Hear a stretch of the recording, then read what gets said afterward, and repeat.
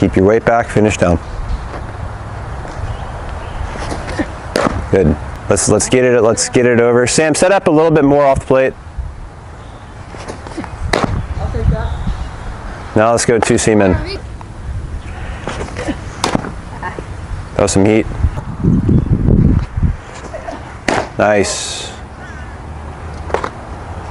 Let's go four seam away one more time. Arm got stuck. Yeah, yeah. Good adjustment. That was that was fuel. That was some fuel. Yeah. That was nasty.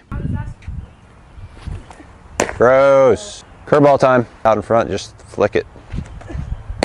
Nice. Like there's days you, you're not gonna have one of your pitches. Like you didn't forget how to throw your curveball, you just didn't have it that day. So Yeah.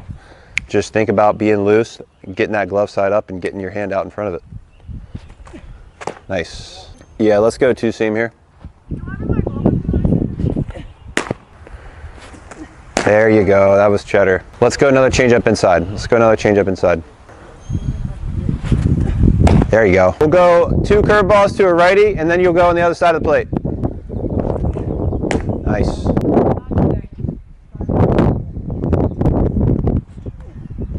Good pitch. Yep, kind of like backdoor.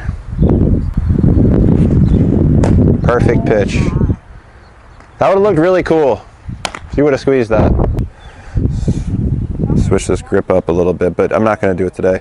But yeah, just com- exaggerate this. Exaggerate it.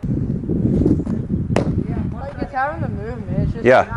I'm putting it where it should. That was like whoosh, whoosh. Let's do one more. Throw it right at Gavin's like front hip. The changeup's all about the release and the finish. Perfect. Perfect. Way to find it. Way to find it.